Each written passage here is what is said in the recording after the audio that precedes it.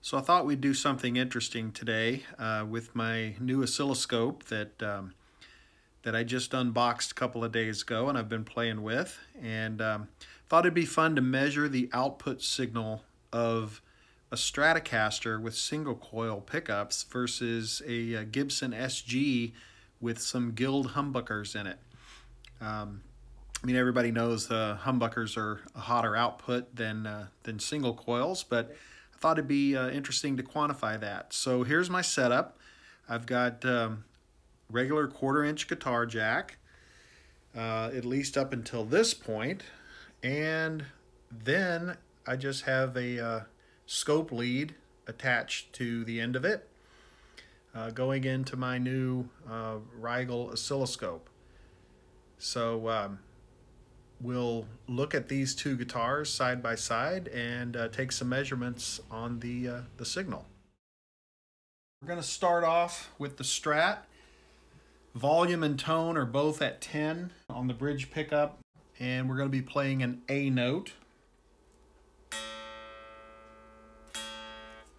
Let's go with a single trigger here. I've got the threshold at 120 millivolts, which should, uh, should capture that signal. And let's uh, turn the cursor on and see what we got here.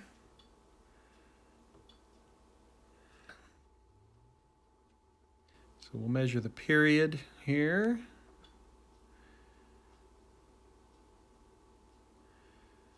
Period is 111 hertz. Multiply by 4, which would be two octaves up.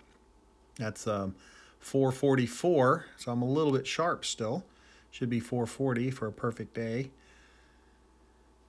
And let's see, look at the vertical.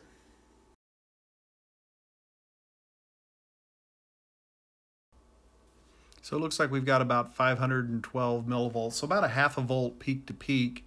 I've triggered uh, some additional times and gotten about 700 millivolts.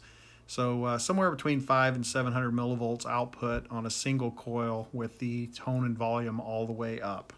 So now let's do the same thing with the SG. Uh, I've got uh, volume and tone up to 10, the bridge pickup. There we go. Okay, so let's take some measurements here. Turn the cursor on.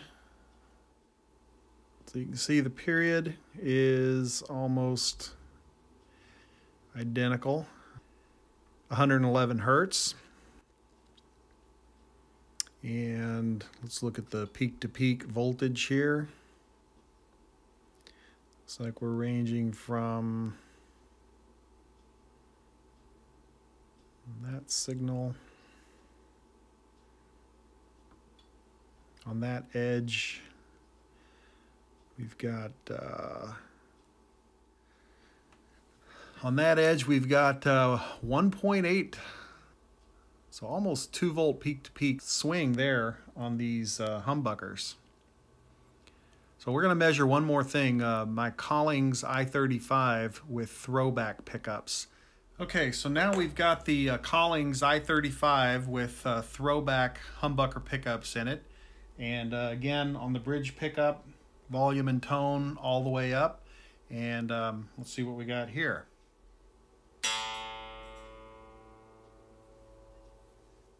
All right, so let's check this one out.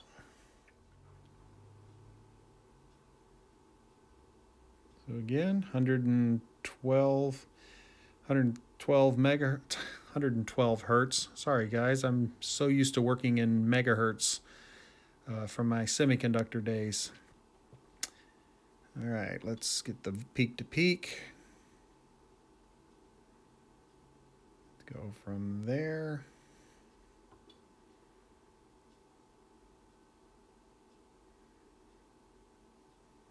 About there.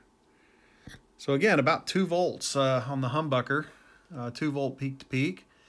And um, I was expecting this not to be quite as hot as the SG, but in fact it looks like it's a little bit hotter. So these Throbak pickups uh, were actually wound on the same winding machine from the Kalamazoo Gibson factory uh, that wound the initial uh, PAF humbuckers.